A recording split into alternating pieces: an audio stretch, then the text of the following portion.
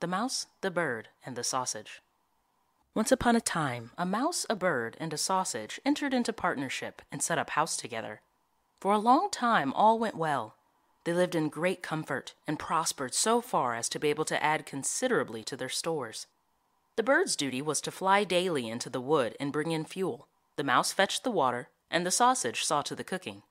When people are too well off, they always begin to long for something new.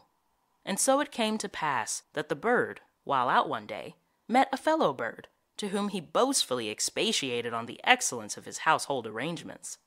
But the other bird sneered at him for being a poor simpleton who did all the hard work, while the other two stayed at home and had a good time of it.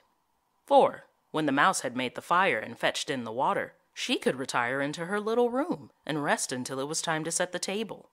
The sausage had only to watch the pot to see that the food was properly cooked, and when it was near dinner time, he just threw himself into the broth, or rolled in and out among the vegetables three or four times, and there they were, buttered, salted, and ready to be served.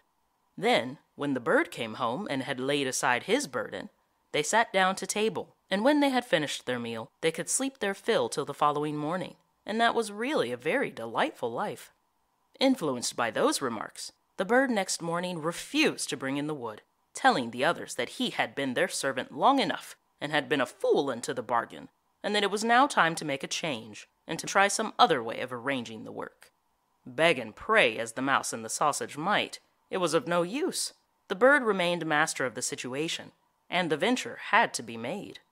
They therefore drew lots, and it fell to the sausage to bring in the wood, to the mouse to cook, and to the bird to fetch the water.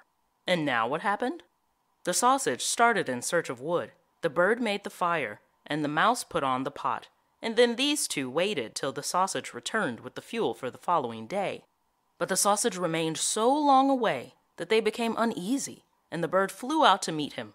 He had not flown far, however, when he came across a dog who, having met the sausage, had regarded him as his legitimate booty, and so seized and swallowed him.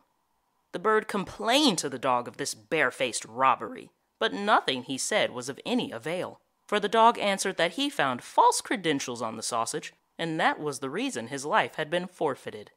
He picked up the wood and flew sadly home, and told the mouse all he had seen and heard. They were both very unhappy, but agreed to make the best of things and to remain with one another. So now the bird set the table, and the mouse looked after the food, and, wishing to prepare it in the same way as the sausage, by rolling in and out among the vegetables to salt and butter them, she jumped into the pot, but she stopped short long before she reached the bottom, having already parted not only with her skin and hair, but also with life. Presently the bird came in and wanted to serve up the dinner, but he could nowhere see the cook. In his alarm and flurry, he threw the wood here and there about the floor, called and searched, but no cook was to be found. Then some of the wood that had been carelessly thrown down caught fire and began to blaze.